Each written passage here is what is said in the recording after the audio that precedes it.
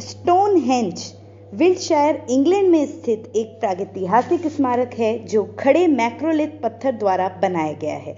1986 में इसे यूनेस्को ने वर्ल्ड हेरिटेज साइट में इंक्लूड किया था।